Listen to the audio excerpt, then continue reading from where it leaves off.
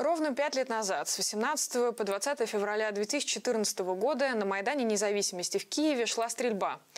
Погибло 93 человека, 80 активистов и 13 силовиков. Сегодня на памятное мероприятие в Киеве приехал глава Совета Европы Дональд Туск. Он возложил цветы у стены памяти Небесной Сотни вместе с Петром Порошенко.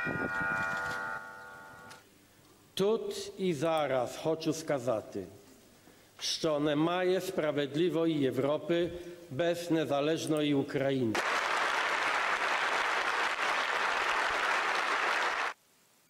Расследование убийств на Майдане до сих пор не закончилось, в том числе потому, что многие из тех, кто стрелял в протестующих, скрываются в России.